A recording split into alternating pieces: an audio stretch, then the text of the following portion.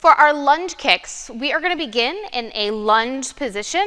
So either step forward or step backwards. Remember when we lunge to make sure your feet are shoulder width apart. So you don't want them like this because you won't be able to balance. So you're going to lunge, you're to get back, your chest is up nice and tall, your knee is over your foot.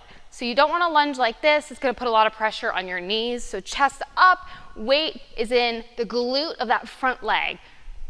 So here's our lunge position, and we're gonna kick, and lunge, and kick, and lunge, and kick, lunge, and kick.